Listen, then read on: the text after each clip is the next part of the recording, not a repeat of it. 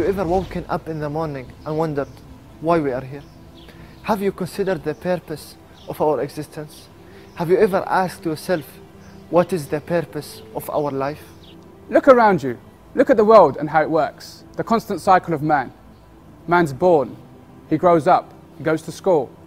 Might get married, have children. He works. But then he dies. Is that it? Or is there a greater purpose to our existence? Many people will say, I don't know. Others might say there's no purpose at all. Some even say, who cares anyway? But you should care. You should want to know why you were created. Reflect upon this point. Take any item, large or small, expensive, cheap, it has a purpose. The house that you live in, the clothes that you wear, even the button on your shirt and the door handle, it has a purpose. And as soon as it loses that purpose, it loses its value. It becomes useless. And something that is useful is better than something that is useless. So if you feel you have no purpose, is the button on the shirt or the door handle better than you? It's utter nonsense to believe that humans have no purpose.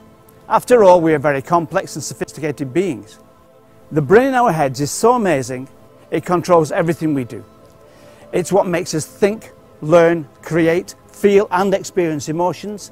At the same time, it controls every movement of our bodies. It helps us to see, it helps us to walk, it helps us to talk. And it's really a very, very powerful supercomputer.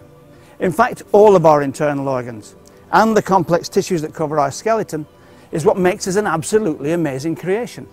Surely this is not for nothing. Surely we humans have some real purpose. To know our purpose is to reflect and find inner peace. To find inner peace is to know our Creator.